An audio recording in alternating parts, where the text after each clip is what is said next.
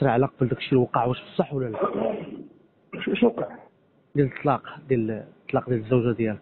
ما كاين والو خويا. إذا عندك شي حاجة فيدنا عندك شي حاجة خويا شي طلاق خرجوا نهائيا أخويا.